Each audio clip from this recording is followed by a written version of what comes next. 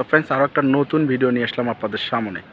আপনারা দেখতে পাচ্ছেন এই পাশে নদী আর এই পাশে একটা বিশাল বট বৃক্ষ দেখতে পাচ্ছেন আপনারা। অনেকেই অনেক নামে এই গাছটার ডাকে অনেকে পাকরের গাছ বলে। তো ফ্রেন্ডস আমরা কিন্তু আজকে এই ভিডিওতে দেখাবো আপনাদেরকে এই বট গাছটা নিয়ে কথা বলব।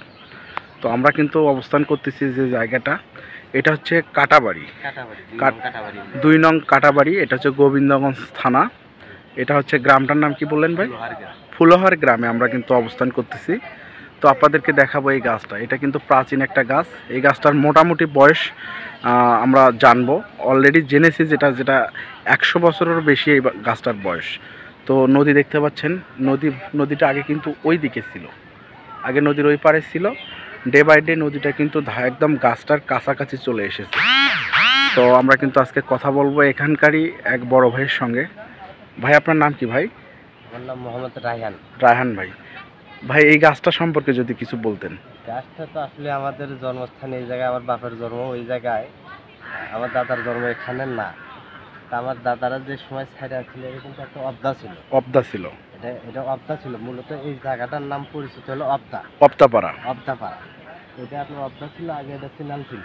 আচ্ছা আচ্ছা। নদীতে পানি তুলে মানুষ জমি চাষ করতে। আচ্ছা আচ্ছা। বহুত আগেকার কথা এটা আর কি। আমরা গল্প শুনছি আমার বাপ দাদার কাছ থেকে। তা আমার দাদারা এই এই গাছটা প্রথমে লাগায়। তারা মারা গেছে প্রায় চল্লিশ পঞ্চাশ বছর হয়। তো আনুমানিক আমার যে আইডিয়া যে গাছটা একশো একশো বিশ বছরের মতো একশো বিশ বছরের মতো হবে। তো গাছটা সেই থেকে দেখতেছেন এরকমই নাকি? এরকমই আছে তো আমরা একটু গাছটার কাছে যাই চলেন। একটু দর্শকদেরকে দেখাবো এই গাছটা সম্পর্কে প্রাচীন এই গাছ। এটা কিসের গাছ মূলত ভাই? এটা বট গাছ নামেই পরিচিত। বট গাছ নামেই পরিচিত। গাছ তো ফ্রেন্ডস আমি কিন্তু একদম কাছ থেকে আপনাদেরকে দেখাচ্ছি গাছটা। দেখেন কত সুন্দর একটা গাছ। আরেকটা জিনিস আছে আপনার ভাই এই গাছটা যে দেখতেছেন কিন্তু জি।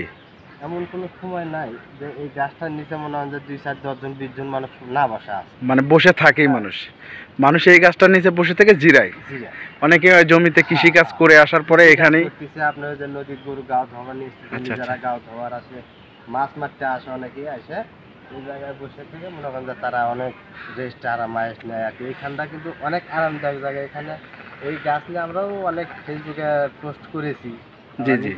জি জি। প্রোফাইল থেকে। খুবই সুন্দর লাগতেছে। এই জন্যই মূলত আমি ভিডিওটায় আসলাম। বিশেষ করে যে সময়টা গরম হয় গরমের সময়টা কীভাবে মানে সেই একটা ঐতিহ্যবাহী জায়গা মানে এখানে মোটামুটি লোকজন পাবেনই। পাবে। সব সময় আট দশজন পাওয়া যাবে। তারপরে মনে হয় দশটা এগারোটা বারোটা একটা পর্যন্ত এই জায়গায় মানুষ পাবেন থাকি। তো ফ্রেন্ডস এটা হচ্ছে কিন্তু একদম ঐতিহ্যবাহী বট গাছ আপনারা দেখতে পাচ্ছেন। গাছটার শিকড়গুলো দেখেন আমি একটু কাছ থেকে আপনাদেরকে দেখাবো। এটা হচ্ছে গোবিন্দগঞ্জ উপজেলা কাটাবাড়ি হচ্ছে ইউনিয়ন দুই নং কাটাবাড়ি ইউনিয়ন। এটা হচ্ছে অবদাপাড়া অবদাপাড়া একদম নদীর সামনে। নদীটার নাম কি ভাই?